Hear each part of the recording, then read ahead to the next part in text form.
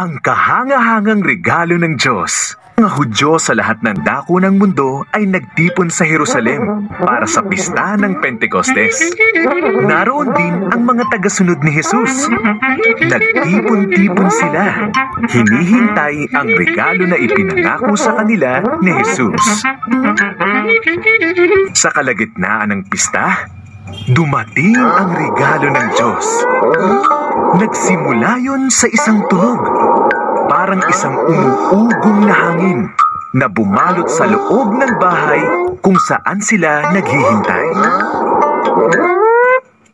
Nood ay parang apoy ang bumaba sa bawat isa at pinuspos ng Espiritu Santo ng Diyos ang lahat ng nasa silid at binigyan niya ang lahat ng kapangyarihang makapagsalita sa iba't ibang mga wika.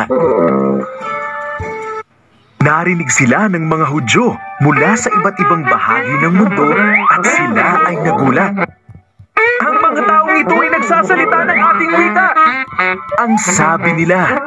At sinasabi nila ang mga kahanga-hangang bagay na ginawa ng Diyos. Regalo ng Diyos. Paliwanag ni Pedro. Matagal na niya itong ipinangako. Dumating ito sa atin sa pamamagitan ni Jesus, ang Mesiyas. Ipinako ninyo siya sa krus, ngunit binuhay siyang muli ng Diyos. No ang dapat naming gawin? Malungkot na tanong ng mga tao. Talikuran niyo ang kasamaan, sabi ni Pedro. Maniwala kayo kay Heso Kristo. Patatawarin niya ang inyong mga kasalanan at ibibigay sa inyo ang kanyang Espiritu Santo. Ang araw na iyon, tatlong libong tao ang nabautismuhan.